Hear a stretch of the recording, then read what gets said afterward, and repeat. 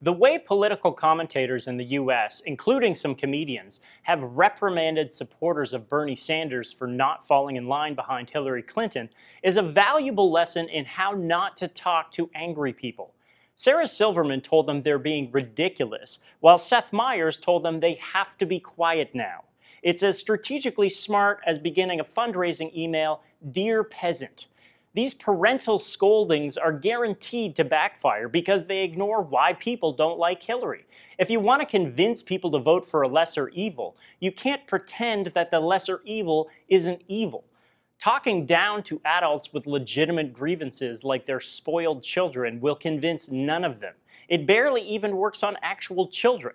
If I wanted a Bernie Sanders supporter to vote for Hillary Clinton, I would say, you understandably see Hillary as a warmongering, corrupt corporate shill, cynically cloaking empire and feminism, but could you please vote for her anyway so we don't die in a nuclear holocaust because Vladimir Putin beat President Trump at Words with Friends? The British media mocked Brexit supporters as morons, and it backfired. Most of the US media mocks Trump supporters as morons. It's backfiring. Doing the same for Bernie supporters will backfire.